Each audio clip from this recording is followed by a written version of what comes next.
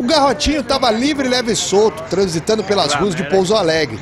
Repare que um homem tenta cercar o bicho, que ataca com uma cabeçada. Capaz mesmo, rapaz. O negócio tá feio. Tá feio. Quem estava rindo logo ficou assustado, pois o boi começou a correr atrás deles. Tá louca, velho. Por sorte, o garrotinho passou e seguiu sentido centro, pela calçada, e não pegou ninguém. A princípio, ninguém se feriu. É tourada?